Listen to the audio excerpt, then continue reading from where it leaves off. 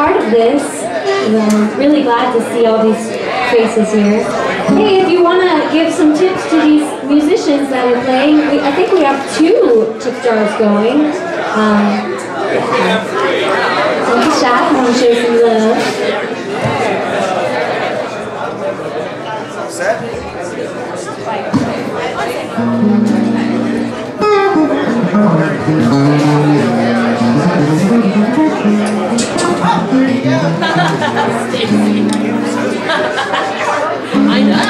Here's